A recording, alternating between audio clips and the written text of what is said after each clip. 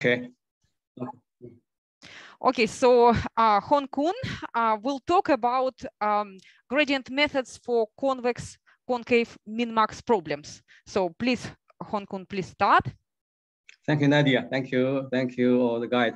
Uh, also, I want to thank Bruno first because uh, uh, because I swapped uh, with him. Okay. okay, I'm going to talk uh, some gradient methods for concave, convex concave minimax problems. Okay, let me start with the, my abstract.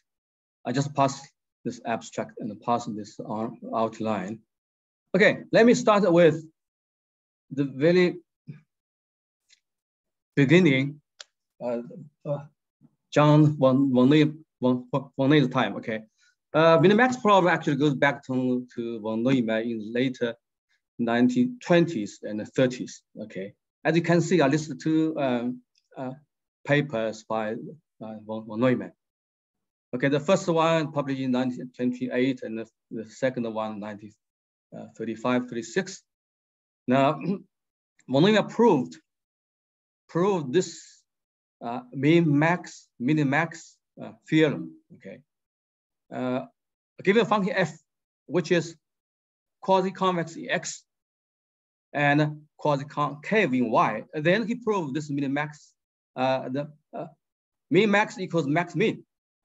Okay, now here, the two sets, x and y are convex convex compact subsets of some topological linear spaces.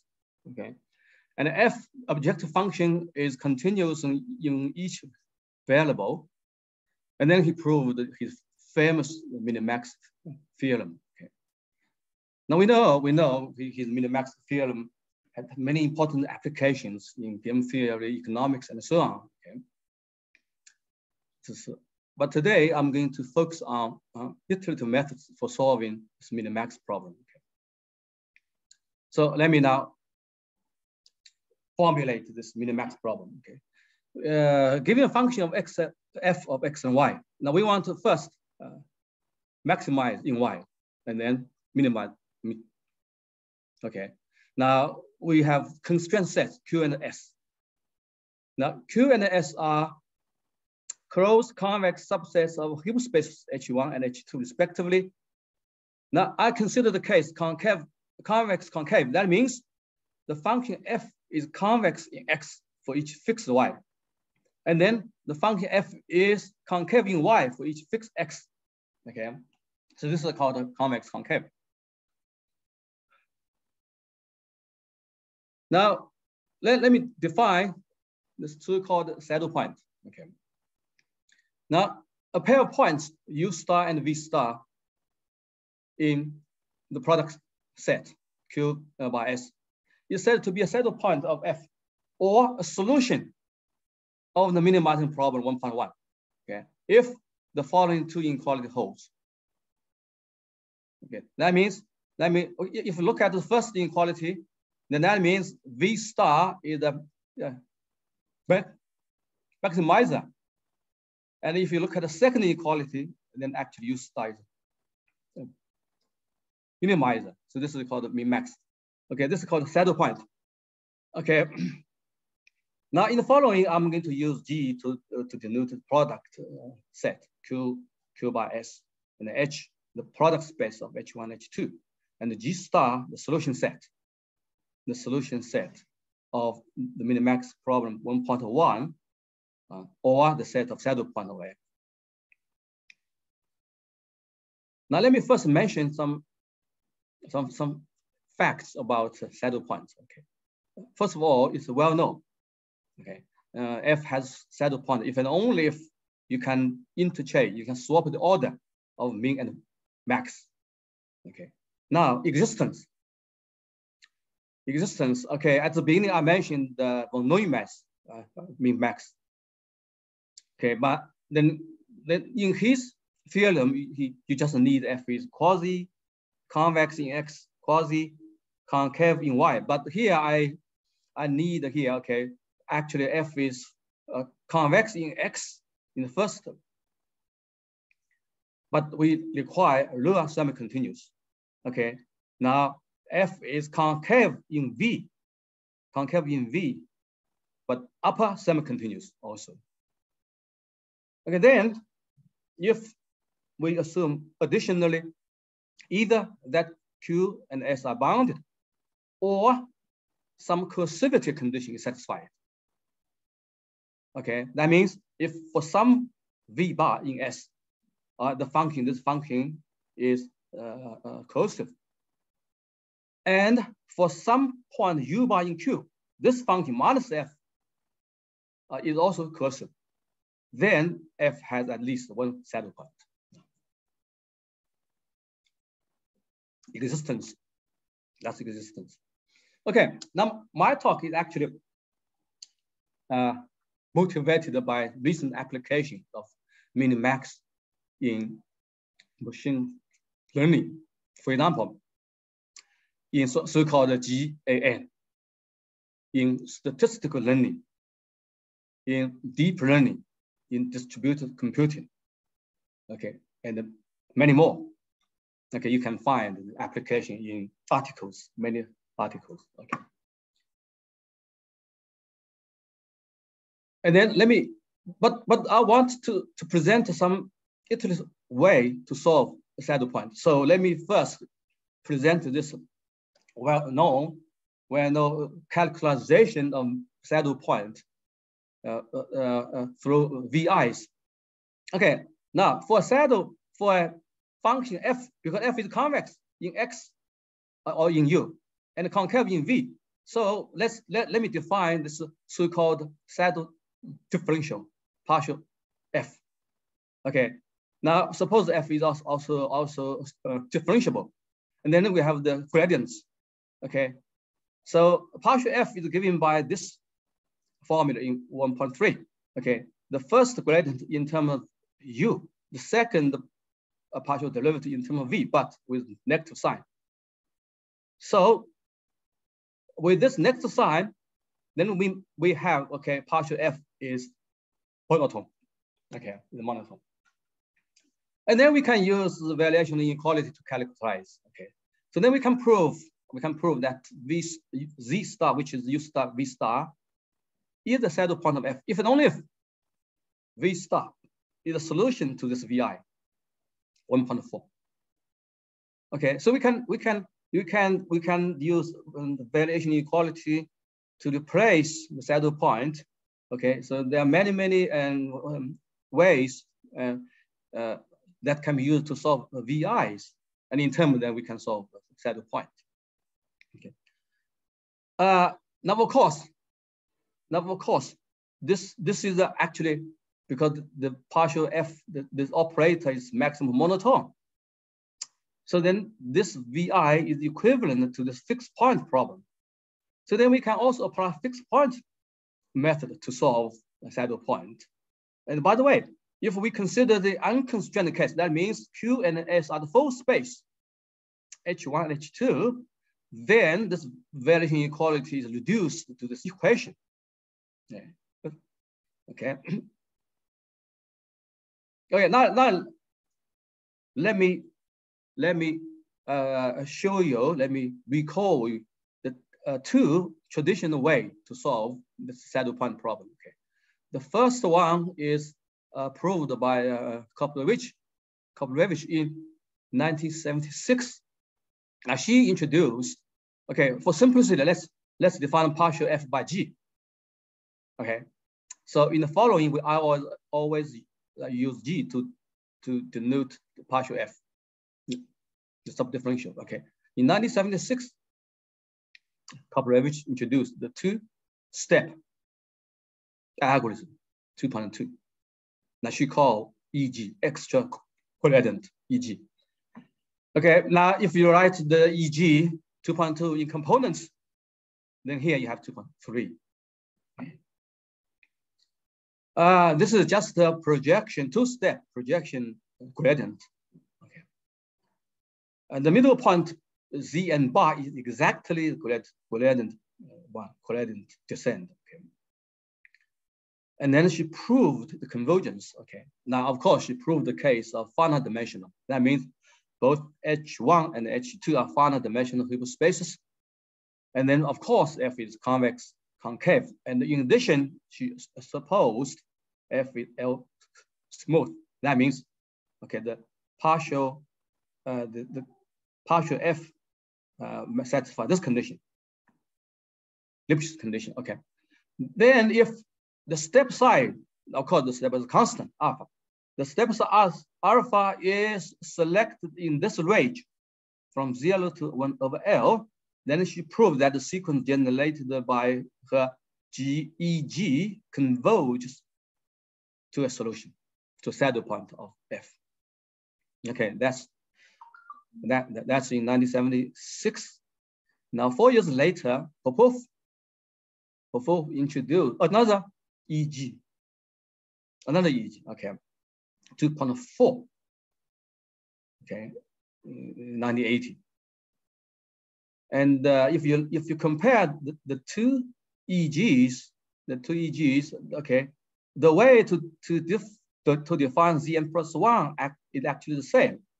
Like the difference lies in the definition of the middle point, Zn bar. Okay, it looks like a Popov's definition of Zn bar is slightly more complicated. Okay, so then Popov proved once again in finite dimensional case. Okay, now the condition on F actually the same, but the step size tau is smaller. Okay, the step size tau now is is between zero and one three F. Then he proved that the the sequence generated by generated by his algorithm 2.4 also converges to a saddle point of F. Okay, that's that's in 1918. Now, if you want to know what happen, what will happen in infinite dimensional setting, then I can tell you, okay, I have a remark here, okay. Under some conditions of, of Korpelevich's uh, condition and or, or of, of Popov's condition, okay, we, we can prove, we can prove, okay. We can prove actually the sequence in the infinite dimensional converge, converge also, but in weak topology. Okay. Now, of course, you need some some more more proof. Okay, that's that that may follow the fact that the mapping, this mapping, this mapping is non non expansive. If alpha is in this range, alpha between zero and two over L. So use this non-expansivity of this operator we can prove in the infinite dimensional case that Zn converges in the weak topology. Okay. That's too traditional. That's traditional. Okay. Now, okay, my talk is actually based on some recent papers. I listed just four papers here. Okay, because I find recently, uh, recently a, a fixed point algorithm, Halpern's method, has been introduced to solve uh, uh, to solve min-max uh, min-max problem. Okay, so then I worked out some some work. Okay. Now first, let me let me introduce introduce introduce uh, some knowledge on Halpern's. Halpern. Halpern's best is actually for non-expansive mappings. Okay, here's the definition: non-expansive mappings. Okay, now we use the fix of t to denote a set of fixed points of t. And um, a special class of space mapping down here, okay, alpha AV. Okay, okay, uh, a mapping T is alpha AV if T is can be can be written in this form. For some constant between zero and one, like T can be written as one minus alpha times I plus alpha V. Here V also, yeah, okay. So if, if T can be written of this form, then we call T is alpha AV. Okay. And then now what is Halpern? Halpern's algorithm means the iteration method 3.1. Now alpha is the sequence in zero one. U is referred to as anchor. x0 initial point. Okay. T is a mapping. Now, this algorithm was first introduced by, by, by Halpern in 1967, although he considered a special case, okay, in a Hilbert space for uh, where C is closed unit ball. Okay, but uh, this this algorithm is named is named Halpern. Okay. Now, what is the condition? Conditions. Uh, what is the convergence of this algorithm? Okay. Now, Halpern proved. How proved? Okay. Uh, two necessary conditions. Okay, C1 and C2. The step size alpha n here must must converge to zero in a slightly slow rate of condition uh, convergence. That means the series, this series must be divergent. These two are necessary conditions, but in general, it's not sufficient to guarantee convergence unless T is AV. Okay, now if, if T is not AV, you need one more condition. Now, what is the third condition that guarantees convergence? Okay, then I, I wrote, Wrote this condition in this table. Okay, now in the paper of, of Halpern, he, of course, himself introduced a third condition. Here I marked C3. This is the Halpern's condition C3. Okay, then 10 years later, Pierre Lions introduced another sufficient condition, C4. C4. Here's a C4 condition. Okay, the, this limit is equal to zero. And then, then five years later, uh, 1992, Hutterman introduced this condition. This series. Okay, now two years later, Shimon Reich, uh, Shimon Reich introduced this condition, the step size decreasing. Okay, now, now, now of course, this condition actually C6 is a special case of C5. Okay, and then myself in in in in 2002, I introduced the, the condition C7, C7. Okay, I, I dropped the, the square uh, from uh, Pierre Lions' C4. Okay. And uh, moreover, I did uh, my paper in the setting of Banach, space. Okay. Uh, so that that that's the uh, con convergence. Okay, that's the convergence conditions. And uh, I had a survey paper jointly with my uh, co-author Hina Lopez and uh, Victoria Victoria Martin. Okay, in the year 2010. Okay, so so we update up, up to the year 2010 about convergence of Halpern's. Okay. Now, now probably why why Halpern's algorithm has recently be, be in, employed to solve minimax problem. Probably is due to the following the, the following rate of, of rate. Because recently, uh, Lieder proved very nice rate of condition, rate of, of convergence. The rate is capital O of one over n. This is the best this is the best rate of condition, the best rate. Okay, now he proved, the paper was published this year, 2021, but actually appear uh, uh, a few years before. Okay, now he proved in general Hilbert space, T is non-expansive mapping. Okay, then he considered Halpern's method and uh, the anchor and the initial point are the same. And uh, the fixed point set of T is not empty. And under these conditions, uh, with this particular choice of step size, Rn, uh, to be one over n plus two, then he obtained this rate of condition. Very simple, very nice. Okay, and he also proved that this, this bound is tight. Okay, now he proved in the Hilbert space case, but actually this rate of convergent holds in a general Banach space, as pointed out recently by, by, by Roberto Cominetti, his student, actually. And this actually uh, was implicitly contained in an early paper by Sabach, okay, in, in 2017, in the papers I'm paper in 2017, actually, okay. But most people notice the rate from Lieder's paper, okay.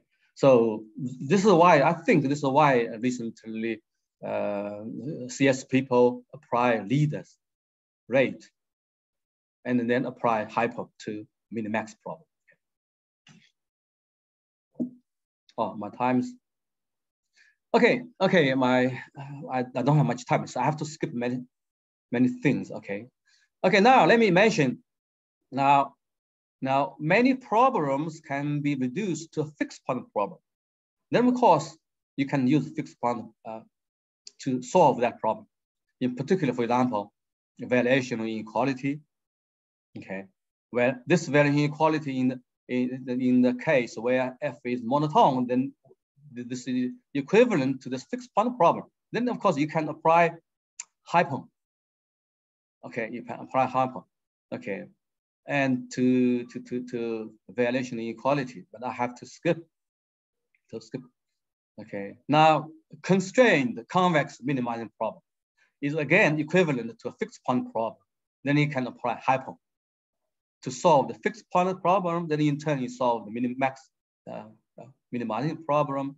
Okay, and if you consider this convex composite minimizing problem, this problem is again equivalent to a fixed point problem.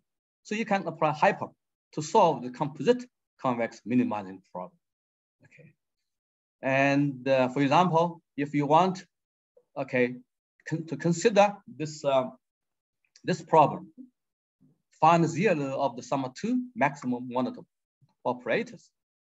Now, now we know this can be solved by the famous, by the well-known now, uh, so-called so, so-called DR, uh, uh, Douglas Rachford. Okay, now Douglas Rachford. Dr. Rachford is actually at a fixed point. It's a fixed point problem. So, so that means that means you can apply uh, apply Halpern to Douglas Rachford. So then I call I call I call uh, DRH uh, Douglas Rachford Halpern. Now this is a DRH. This is DRH. Now we can prove convergence of DRH, okay, DRH. And then we have the rate of convergence. So we can apply to fixed point algorithm. Then now finally, okay, I have, let me, let me now, okay, okay. One, one more, one slide more. Okay, now we, I can apply Halpern to uh, minimax because I, as I mentioned, minimax, minimax problem in my, in my case, convex concave case, okay, the minimax problem is equivalent to a valuation inequality, which is in turn equi equivalent to a fixed point problem. And then we can apply a Halpern to that fixed point problem, okay. So then we, we have this algorithm. Okay, we applied a Halpern to this operator, which is the, the, the fixed point uh, operator for the minimax problem. Okay, now here I use the maximum rate uh, coefficient 2 over L. This is maximum. So the operator is non-expansive, not necessarily uh, AV. Okay. Anyway, I can apply Halpern. Then, we get this algorithm. Okay. Now finally, let, let, let me let me mention to you, maybe to you, so the so-called EAG method, extra anchored gradient method. Okay, now I just follow the setting of the two Korean young mathematician, uh, Yoon and uh. Okay, they introduced in their recent papers, this conference preceding paper published this year, okay, they considered the unconstrained minimax problem 4.8, okay, in finite dimensional case. Okay, they introduced the algorithm 4.9, they call this they call this algorithm EAG, X anchor. Okay. And then they discuss the rate of convergence of this algorithm. Now, what they proved? Okay, they consider the case where the so-called anchoring coefficient beta k is always taken to be to be to be one over k plus two. Okay, this is the choice in Lieder's uh, rate of convergence. Okay, and then they consider two cases for step size. One constant step size, the other uh, depend on the step. Okay, they they call EAGC. C means constant step size, and EAGV V means variable uh, step size. So for algorithm for 5.1 and algorithm 5.2. Okay. Now they prove, they discuss the rate of convergence in two cases. The first case was for EAGC, constant step size. They obtained actually one over K. Because in their article, they they they they put square. They put square on, on this on the left-hand side. And then of course they, they obtain the so-called one over K square. And then the second theorem they obtained is the, the case of EAGV, the EAGV, the same rate. The rate is same, but of course the coefficients are different. Okay, but they have not discussed convergence of the sequence ZK generated by EAGC and the EAGV. They have not discussed anything about convergence of, of ZK. Okay, now if you compare, if you compare their their EAG with, with uh, Korpelevich's EG.